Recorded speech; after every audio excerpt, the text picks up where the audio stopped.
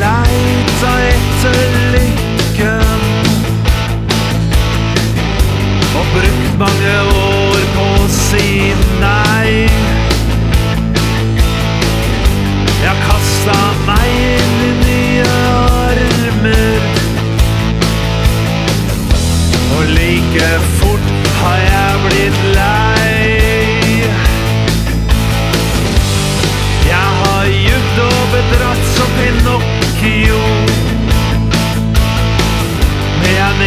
some a.